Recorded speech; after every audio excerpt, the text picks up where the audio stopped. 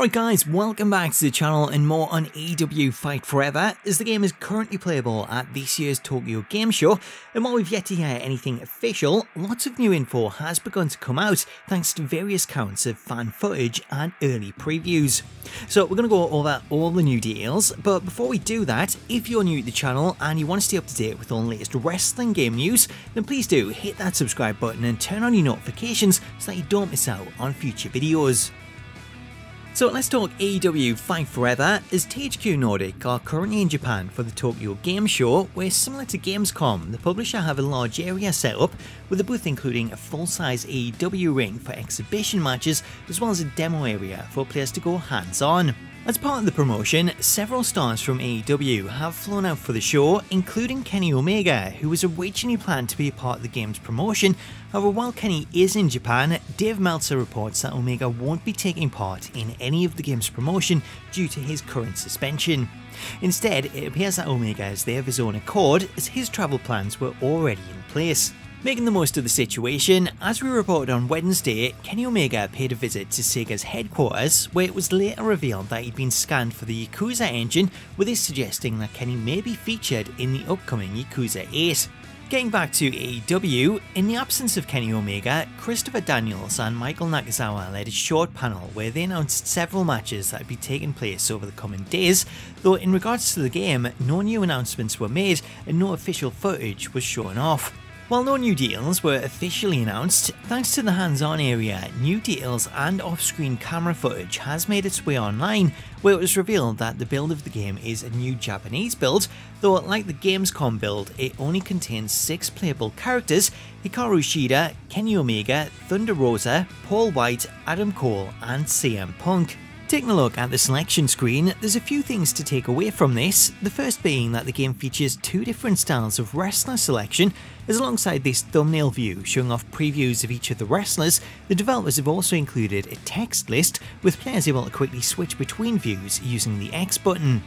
Taking this approach is a great solution to help satisfy players that prefer one view over the other as this puts the choice in the hands of the player. Also apparent from the footage is the absence of overall ratings, as while we're all accustomed to seeing some stars rated higher than others, similar to No Mercy, Fight Forever doesn't include ratings on the selection screen, which when you think about it is probably a good move, as seeing a low rated star might put someone off using them, so I kinda like that approach, though that's not to say that there won't be some kind of rating system in place somewhere.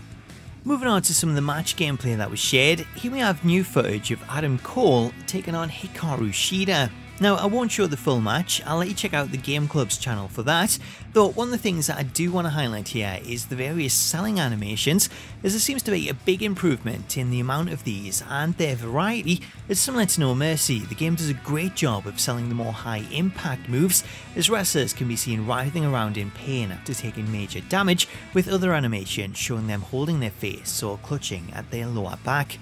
Also shown in the footage was the strong version of the Irish Whip, which sends your opponent over the ropes to the outside, where the gameplay then shows off some of the environmental actions, where the player can be seen thrown into the ring apron and the barricade, which is very similar to the early footage of Darby Allin. As with the gameplay that was released officially, it's apparent from this footage that there is still some fine tuning needed as there's several moments where strikes don't connect or where animations quickly jump from one to the other, but overall from watching this playthrough and from hearing the feedback, it looks like the game is pretty fun to play and easy to pick up, even for players that don't play wrestling games, which should make it more appealing to a wider audience.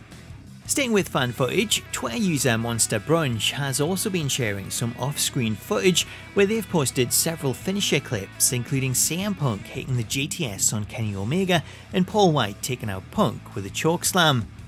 Sharing their initial impressions on the game, Japanese website GameSpark.jp claimed that the game was a very simple yet exhilarating challenge before going on to note a pretty interesting gameplay feature as they noted that using the same move over and over again leads to a warning that using the same technique and then scalding the player telling them that they're getting monotonous in the game and not to play it too salty. It's unclear if this warning was one of the tutorial screens featuring William Regal or if it was part of the commentary, but it's good to see the developers encouraging players to use a variety of moves rather than spamming the same action over and over again.